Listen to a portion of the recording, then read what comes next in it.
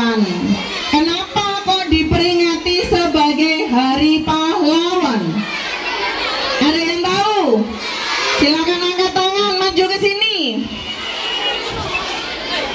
Nggak ada yang tahu? Ya, ya.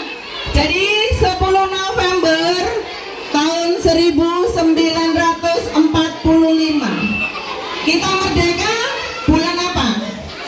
Agustus.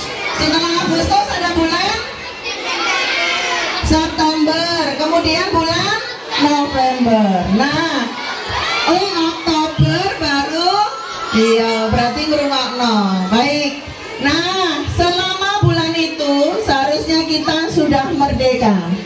Tapi arek-arek Surabaya melihat ada bendera Belanda yang dikibarkan di hotel Yamato.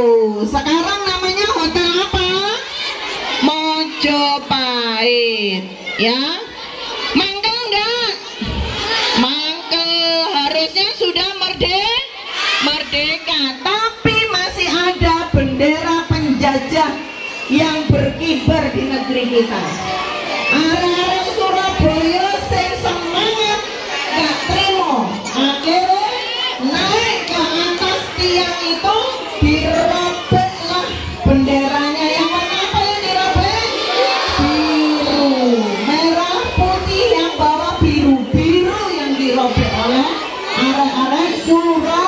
Surabaya. Wani,